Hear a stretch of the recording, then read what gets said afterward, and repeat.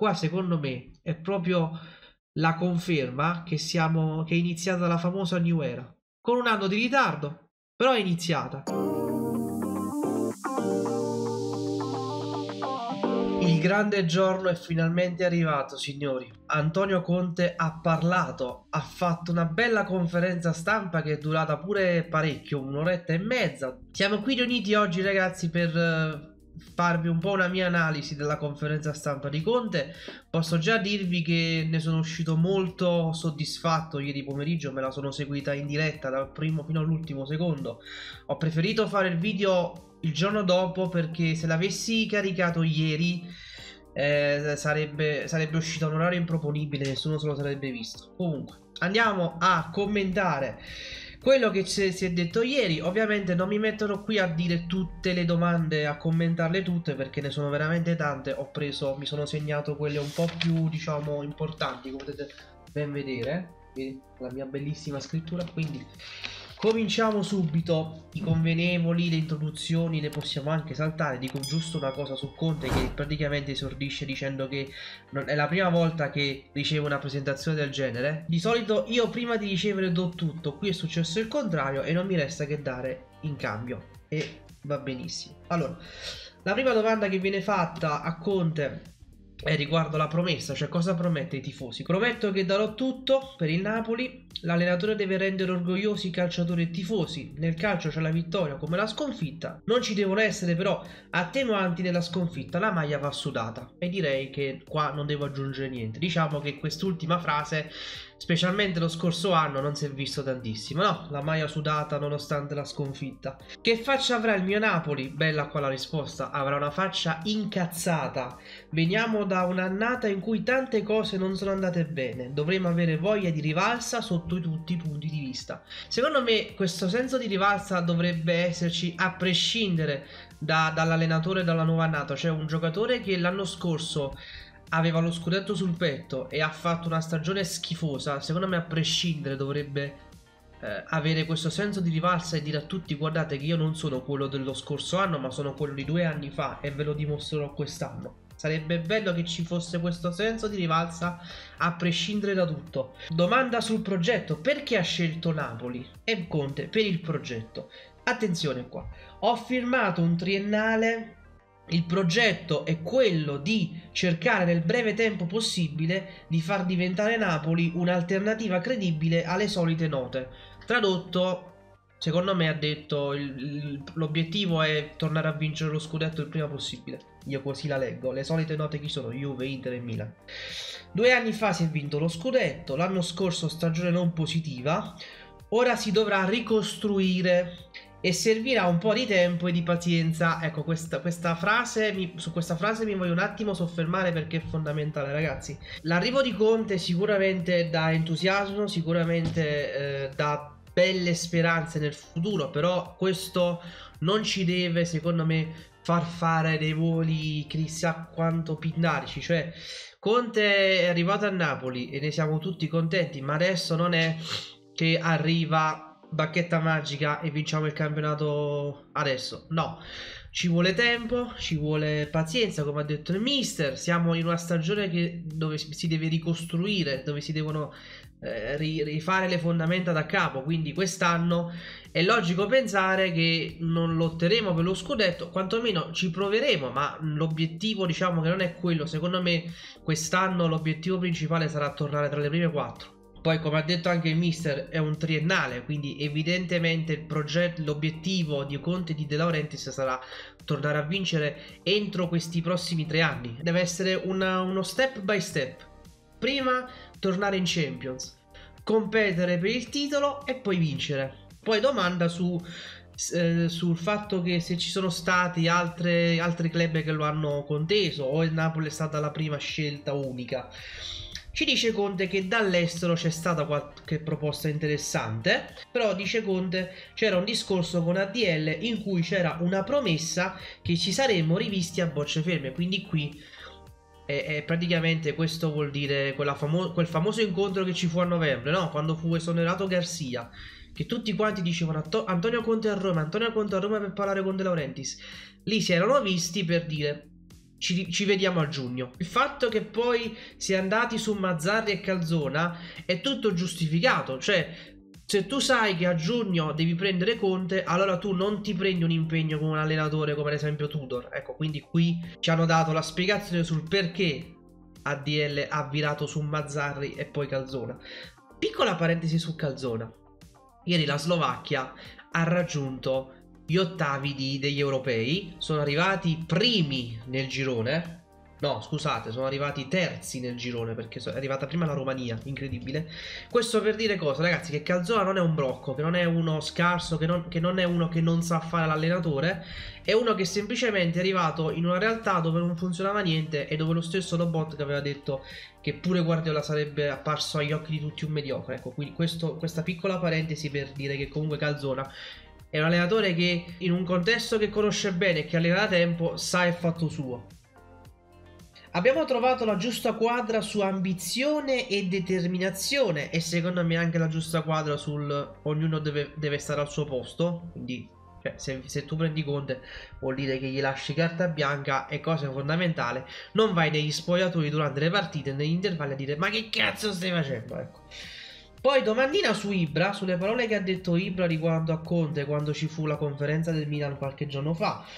E qua Conte dice una cosa importante. Io mi considero un manager gestionale ed allenamento. Magari da qualche altra parte questo ruolo poteva dare fastidio. E diciamo che qui Conte ha, mi ha dato personalmente conferma di un pensiero che io avevo. Vi ricordate quando si parlava di Conte al Milan? Io dissi Conte al Milan non ci va perché il Milan non cerca un allenatore manager, cerca un allenatore aziendalista che, che, sta lì, che non parla e che lavora con quello che gli viene dato. Quindi qui diciamo che Conte ha dato conferma di quello che pensavo. Quanto tempo servirà per vedere i primi risultati?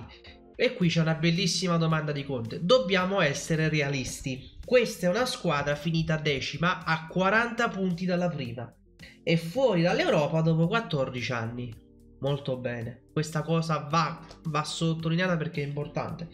Non possiamo competere con le solite note per monte ingaggi e investimenti, ma possiamo creare basi solide con lavoro, voglia e sacrificio. Sulla cultura del lavoro, sulla voglia di vincere e sull'ammazzare sportivamente l'avversario, nessuno ci deve battere. Ecco, quindi qui praticamente combattiamo le squadre che magari economicamente sono più ricche tramite le idee e il lavoro. Quello che praticamente si è fatto finora, eh, perché comunque il Napoli storicamente non ha mai, non ha mai avuto fondi, non è stato mai economicamente più potente di Juve, Inter e Milan. È stato competitivo negli anni grazie alle idee. Adesso domanda importante su Di Lorenzo e Kvara, perché è inevitabile che si parlasse di loro due. Sto gestendo le, le, due situazioni col club. Attenzione qui. Io col presidente sono stato molto chiaro. Prima di aspetti economici ho avuto una rassicurazione. Avrei deciso io chi sarebbe rimasto o no. E questa, ragazzi, è una risposta importantissima. Una risposta che secondo me crea proprio la discontinuità rispetto al passato. Cioè, è Conte che decide e non De Laurentiis è importantissimo. E rientriamo nelle, nelle, cose che Conte ha voluto come garanzia per venire a Napoli. Quindi praticamente ragazzi Conte a Napoli viene a fare il manager. Lavora ovviamente insieme a tutti, però la decisione finale la prende lui. Se parliamo di riscatto e pensiamo di andare via, allora è un controsenso. Ho parlato con tutti, gli ho detto le mie idee, ho sentito quello che avevano da dirmi, però alla fine se ci sono problemi li risolvono. Mi piace che Conte è stato molto deciso, tranciante e categorico. Chi farà parte del progetto sarà al 100% parte del mio Napoli. Questa frase la leggo come chi resta avrà spazio. Ecco, tutti avranno spazio. Qua proprio Conte mi ha fatto godere. Si dice che a Napoli c'è confusione. Non è vero, è tutto molto chiaro e sappiamo cosa fare. Bello qui Conte che dà una risposta a specialmente i media che dall'esterno fanno apparire il Napoli come un club confusionario, come un club dove va tutto a caso e invece Conte no, lui che c'è dall'interno noi abbiamo le idee chiare e sappiamo cosa fare. Bravo Conte, bravo. Riguardo di Lorenzo, giocatore top, è bravo, è persona per bene ed importante nello spogliatoio. Idem per Kvara. Forse lo scorso anno la frustrazione ha portato a situazioni che non erano proprio limpide. I giocatori sanno che ci sono le difficoltà, siamo tutti uomini e bisogna rimborcarsi le maniche. Quest'anno deve essere la stagione della rivalsa. Bella risposta qui, quindi praticamente Conte ha fatto capire che diciamo, ha risposto pubblicamente e ha detto Di Lorenzo è un giocatore su cui io ci punto tantissimo e lo stesso ha fatto De, De Laurentiis perché cosa è successo poi? La cosa bella della conferenza stampa, sapete qual è? È che in un'ora e mezza ADL è intervenuto una volta ed è intervenuto dopo che Conte gli ha detto che poteva intervenire pure sta cosa ragazzi è una cosa importante. Cioè, quante volte noi durante le interviste vedevamo ADL intromettersi nella discussione e cominciare a, a, dire cose che magari erano anche un po' fastidiose, no? Nella conferenza di ieri De Laurentiis, zitto, una sola volta inter- è intervenuto e poi è intervenuto per la chiusura. Poi basta. È stato al suo posto. È stato al suo posto. E quando è intervenuto su Di Lorenzo ha detto che è un giocatore uomo straordinario. Posso capire che si sia sfastidiato dopo le ultime partite, probabilmente si è sentito abbandonato. Ecco qui sta rispondendo appunto a quella cosa che si dice, cioè che Di Lorenzo come capitano si è sentito abbandonato. Gli ho spiegato che non era possibile abbandonare uno come lui. Ecco qui, quindi qui ragazzi, sia Conte che De Laurentiis hanno pubblicamente messo spalle al muro Di Lorenzo perché gli hanno detto sei tu che ti sei sentito abbandonato, ma noi non ti abbiamo mai abbandonato. Poi, ragazzi, la verità non la sapremo mai. Però, pubblicamente, sia Conte che Di, Loren- che, che, che De Laurentiis hanno confermato che Di Lorenzo è un giocatore fondamentale e che è considerato da entrambi un, un giocatore e un uomo straordinario. Quindi, adesso la palla passa a Di Lorenzo al suo procuratore.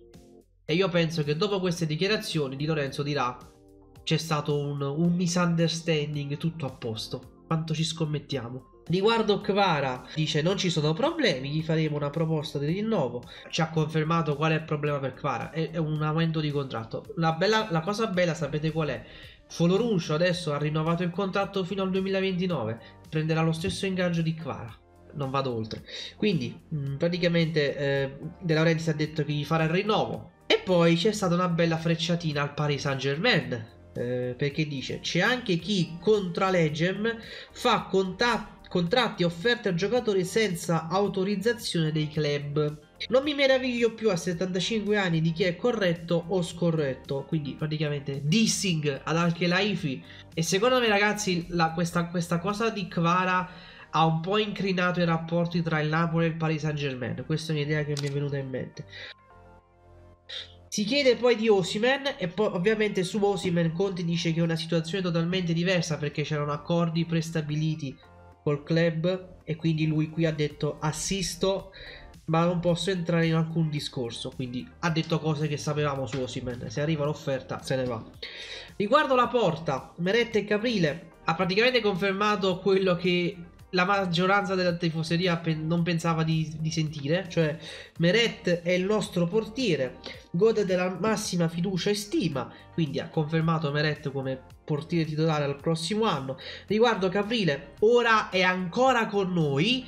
Questa frase mi fa pensare a un ipotetico prestito. Dice ora è ancora con noi. Domani magari sarà da qualche altra parte in prestito per crescere. Quindi qua diciamo eh, Conte secondo me ha confermato Meret primo, però allo stesso tempo ha detto che Aprile forse va in prestito per giocare e crescere. Poi gli chiedono dei precedenti con Juve, Chelsea e Inter quindi dice arrivi alla Juve che, da, che arrivava da, da, due settimi posti e lo porti a vincere il primo anno e poi altri due scudetti. Arrivi al Chelsea che, de- che, ha finito decimo e lo porti a vincere e poi arrivi all'Inter e in due anni vince. Quindi si parla di questo effetto elettroshock e dice Conte che l'unica diciamo avventura simile a quella del Napoli è il Chelsea che due anni prima aveva vinto lo scudetto e poi è finita decima fuori dall'Europa. Fu qualcosa di incredibile in Premier League sapete che ci sono superpotenze, quindi quasi a voler dire è stato, è stato un qualcosa di ripetibile, quasi un miracolo sportivo aver vinto il primo anno. Quello che non posso promettere è la vittoria, bravo, non darci fal- false illusioni, ecco, mettiamola così, ma prometto di provarci. Testa bassa e pedalare, parlare poco, tanti fatti e poche chiacchiere. E qui io non aggiungo nient'altro. Napoli è la sfida più affascinante della sua carriera. Dice Conte, arriva nel momento giusto. Più di qualche persona mi ha detto, ma non hai paura di allenare il Napoli? E gli ho detto, di, paura di che? È un piacere, conoscendo le difficoltà di una sfida. Ecco ragazzi, allora secondo me ha scelto Napoli anche perché secondo me lui la vede come una sfida personale. Cioè, lui comunque ha allenato la Juve, il Chelsea, l'Inter, club che comunque nei rispettivi paesi sono attrezzati per competere per vincere il campionato. Il Napoli è un livello sotto rispetto alla Juve e all'Inter per tutto quello che conosciamo e già sappiamo. E quindi secondo me lui ha scelto anche Napoli per dimostrare che lui può vincere anche in club non di prima fascia che non sono attrezzati per vincere e per eh, diciamo, essere la favorita tutti gli anni. Quindi per me Napoli l'ha scelta anche per, come sfida personale. Poi ovviamente non è, non è detto che ci riesca, però l'intenzione secondo me è quella lì. A che punto è la squadra? Quindi qua torniamo sul mercato, ci sarà da fare tanto oppure no?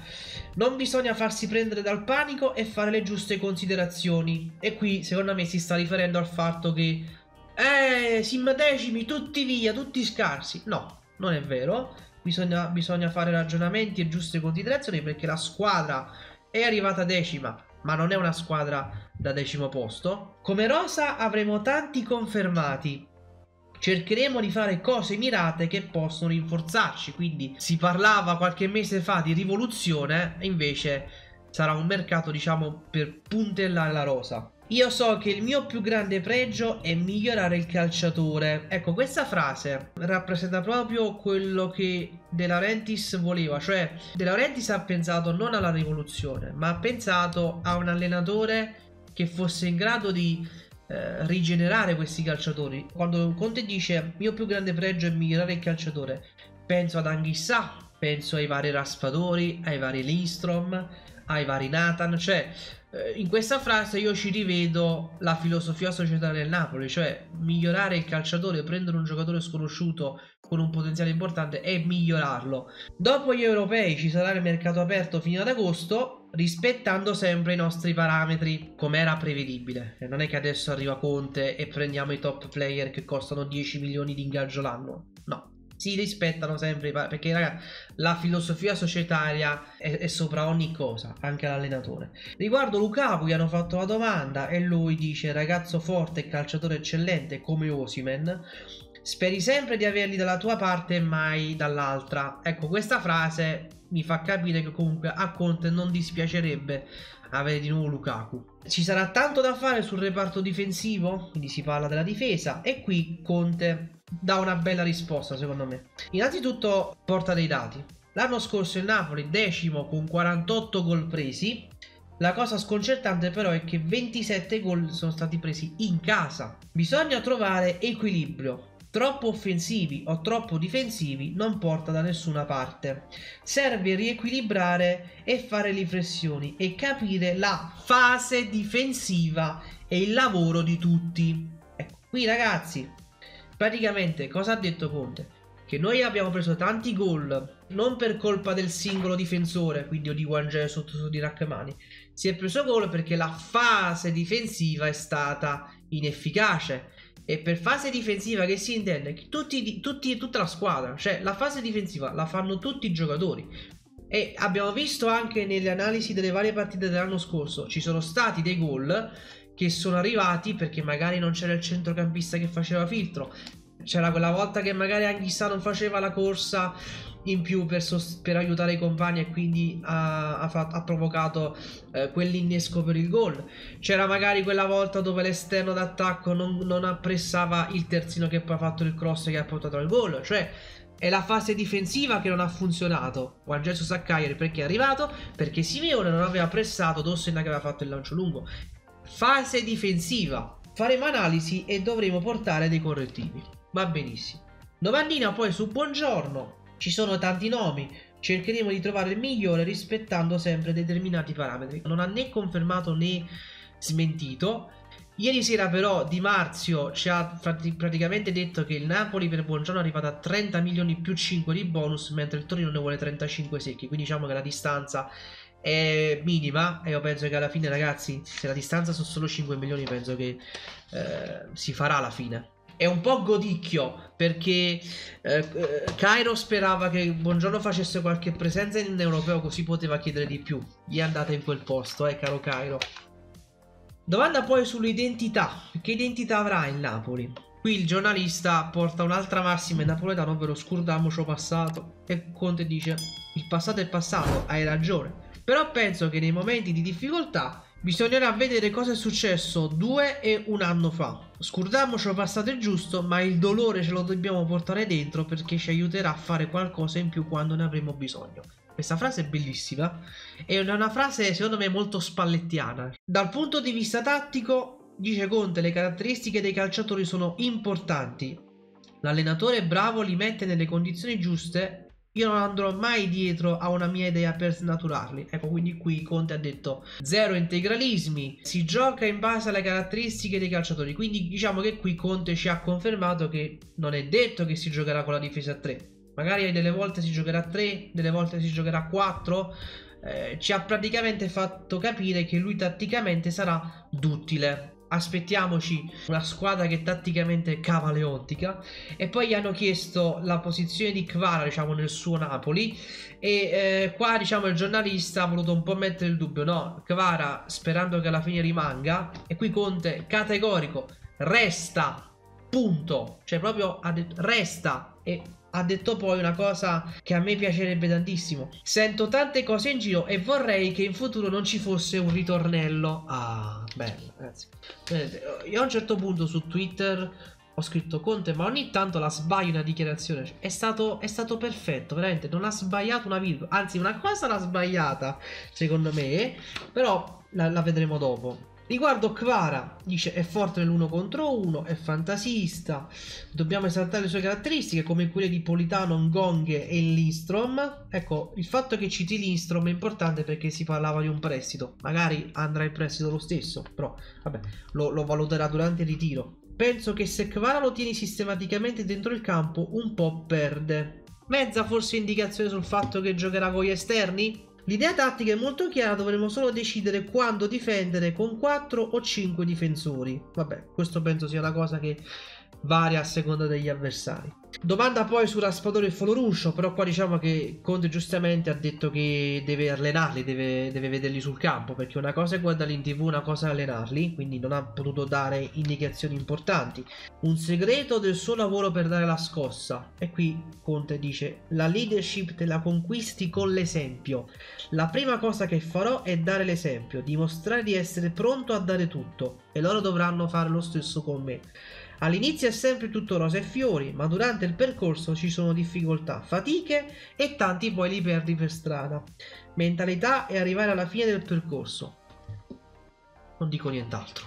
Cosa fare nell'immediato? Essere equilibrati. Il Napoli si è trovato a gestire la vittoria, e ricordiamo ragazzi, si è trovato a gestire la vittoria per la prima volta, perché in 20 anni di gestione della Rendis, due anni fa è stata la prima volta che si è vinto il campionato. Gestire la vittoria è diversa dal gestire un secondo, un terzo, un quarto, un quinto o un piazzamento europeo in generale. È verissimo e lo abbiamo visto l'anno scorso. Quando vinci le dinamiche cambiano, ci sono oneri e onori e la cosa bella ragazzi è che queste parole le sta dicendo uno che in carriera ha vinto, quindi sa di cosa sta parlando. Dovremmo far tesoro dell'anno scorso per cercare di capire che la vittoria dobbiamo ricercarla ed essere più bravi a gestirla. Ecco, diciamo che l'anno scorso deve essere un monito, deve essere appunto eh, l'esempio per non rifare gli stessi errori un giorno quando e se si vincerà. Due anni fa tutti hanno vinto, l'anno scorso tutti hanno perso. Si vince e si perde tutti insieme. Sono sicuro che tutte le componenti avranno fatto tesoro di questo e me lo auguro anche io. Ehm, che messaggio mandiamo agli avversari? E qui Conte un'altra risposta giustissima. Non è il momento di parlare, potremmo dire tante fesserie che ci tornerebbero tutte indietro. Bravo, bravissimo. Oggi è il momento del fare. Non voglio essere solo una statuina del presepe, voglio far parte della storia del Napoli. Ecco, quest'ultima frase. O Freedom Wall, come si dice dalle nostre parti. Cosa prometto da DL? Prometto di, se- di dirgli sempre cosa penso, non cambierò il mio modo di essere. Io se devo dire qualcosa, lo sa che glielo dirò direttamente, quindi prometto di essere sempre schietto e sincero. E poi la domanda finale, accetterà di perdere giocatori demotivati che però Conte vorrebbe tenere? Cioè... Eh, vuoi tenere un calciatore, però questo calciatore è demotivato e vuole andare via. Lo terrai comunque? E dice Conte, qua una cosa che è un sogno per quanto mi riguarda e temo continuerà a restare un sogno. Perché cosa ha detto? Quello che mi auguro che possa cambiare in questi tre o si spera più anni è che il Napoli venga visto come una meta e non un passaggio. Questa ragazzi è una frase bellissima, però io penso che questa rimarrà un sogno perché Napoli come meta non credo che riusciremo a vederlo. Secondo me non abbiamo, non abbiamo i mezzi per essere una meta. Io ovviamente quando dico che Napoli è una tappa di passaggio e non di meta, lo dico perché secondo me è così, cioè sono realista.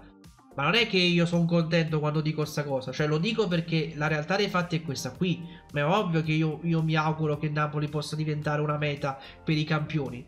Ma penso che al momento questo non si possa fare e non credo che succederà nei prossimi tre anni. Non credo che questa cosa cambierà. Poi, se succede, ragazzi, io sarò felicissimo di questa cosa. Un calciatore viene al Napoli perché sa di lottare per qualcosa di importante ogni anno. Se a uno viene il mal di pancia e non è contento, sta con me ogni giorno, gli racconto due cose e mi faccio aiutare. Patti chiari e amicizia lunga. Quindi praticamente ha detto, se sei scontento, te ne stai in panchina e mi aiuti a fare l'allenatore. Diciamo, questa è l'unica cosa su cui non sono d'accordo perché tenere i calciatori contro voglia è sempre un qualcosa che ti, che ti si ritorce contro. Puoi anche rischiare delle cause legali perché ragazzi tu non puoi obbligare un calciatore a restare se lui vuole andare via. E poi ci perdi dei soldi. Ragazzi, l'ho detto anche l'altra volta con Di Lorenzo. Se tu tieni in tribuna Di Lorenzo per 4 anni, innanzitutto butti i soldi nello stipendio, perché se tu, tu, paghi un calciatore per stare in tribuna, stai buttando dei soldi.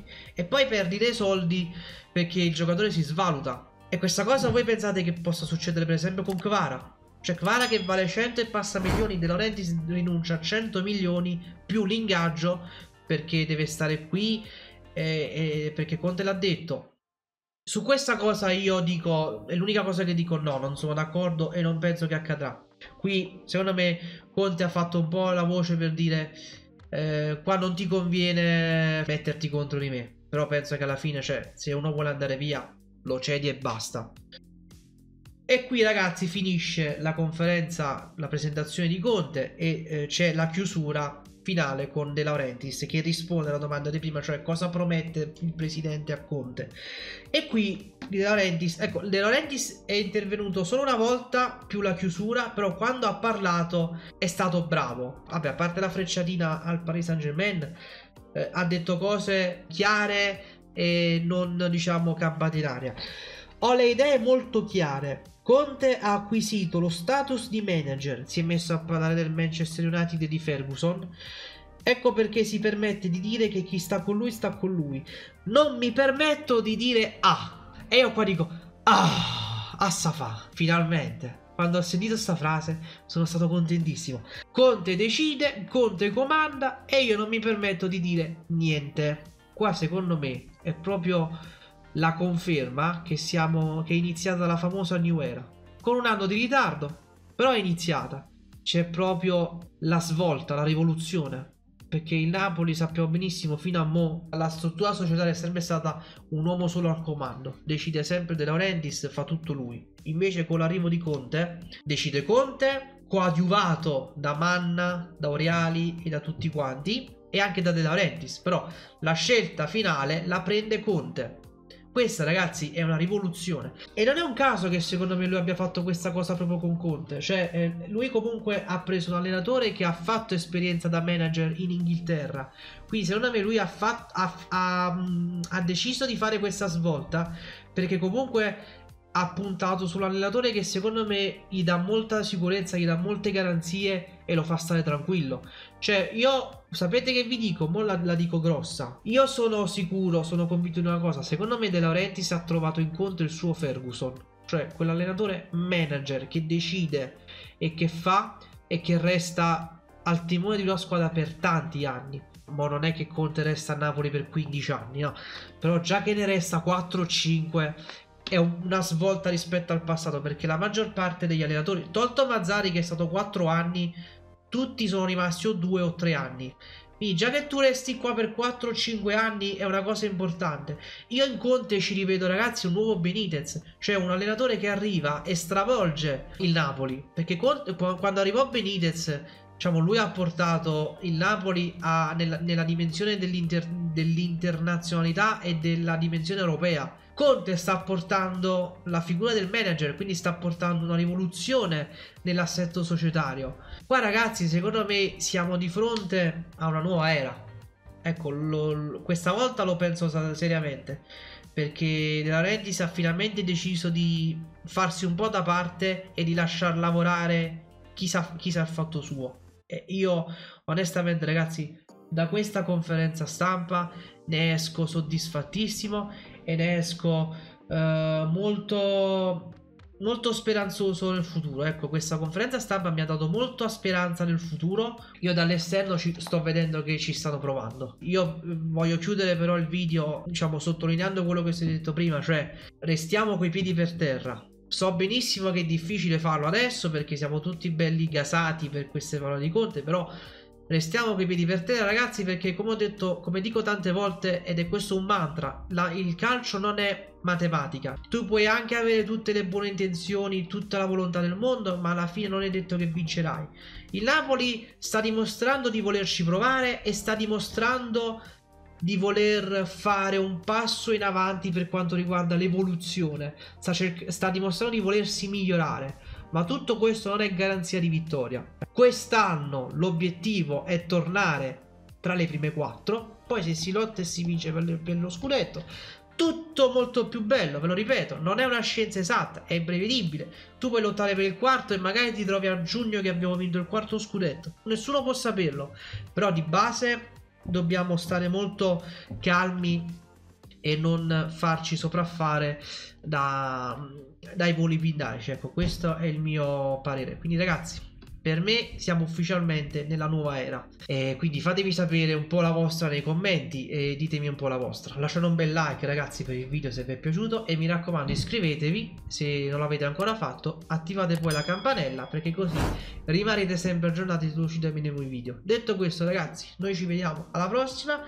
e sempre forza Napoli buon lavoro e buona fortuna mister e speriamo veramente in questi tre anni di vivere un percorso che ci regalerà tante ma tante soddisfazioni.